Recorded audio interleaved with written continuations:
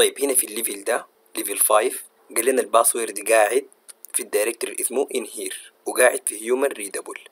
يعني في شكل text حاجة ممكن نقراه زي ال ASCII أو أي نوع من أنواع ال encoding الثاني ال extended ASCII زي ال UTF 8 وال UTF 16 وال UTF 32 هنا مع بعد ما عملنا login ls في ال directory اللي اسمه in here. خشينا جواه ال ls دي كلها file. طيب حنعرف يا دي واحد هو ال human readable يعني لو مشينا هسه عشوائيا وزي ما شايفين كل ال file ات بادية ب hyphen إحنا قلنا أي ملف بادي في hyphen عشان نقراه نقول له dot forward slash sorry نسيت ال hyphen. زي ما شايفين جاب لنا حاجة غير مقرية لأنها دي data يعني بايت ما مخزنة في شكل encoded وكانت بتحاول تقراها زي إنها text فعشان كده بتجي الأشكال دي. في command في لينكس اسمه file بيوريك نوع ال file اللي أنت ممرره له يعني حتى نمرر له file zero zero قال لنا هو data نحن دايرين له حاجة تكون في شكل human readable ممكن نمر على كل ال file ات دي واحد واحد نمررهم لل command اللي اسمها file أو ممكن نستخدم طريقة أسهل. نقول له file asterisk اللي هي كل حاجة. asterisk يعني all كل الحاجات البادية ب hyphen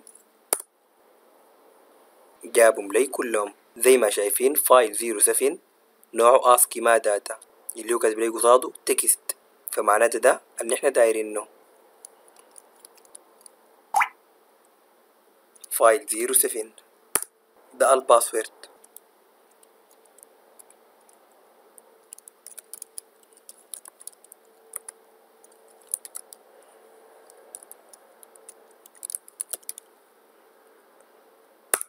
طيب نمشي لل level 6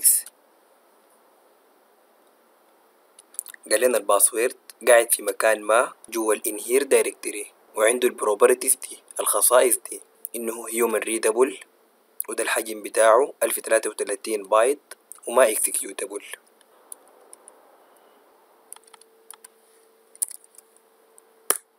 بانديت 5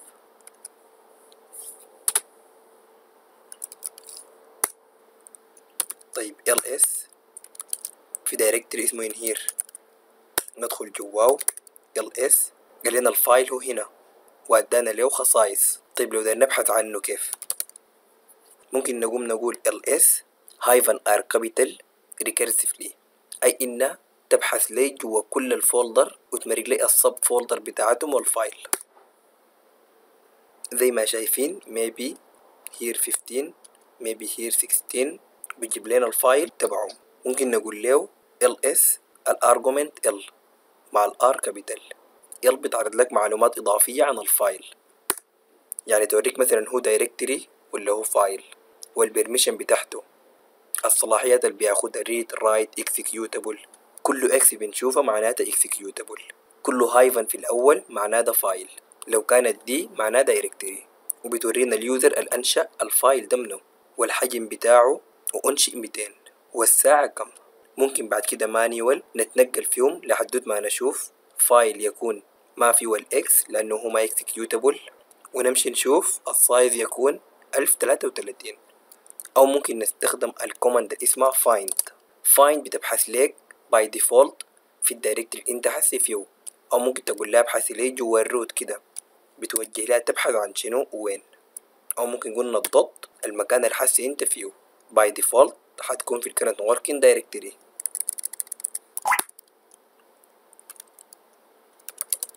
أقول لها مثلا find maybe here zero zero حتجيب لنا أي حاجة فيها ال text ده وحيبدأ البحث من المكان اللي إحنا حسي فيه. من هنا. طيب نجي نشوف ال manual بتاع find في ال manual لو داير نبحث بنستخدم ال forward slash دايرين نبحث عن executable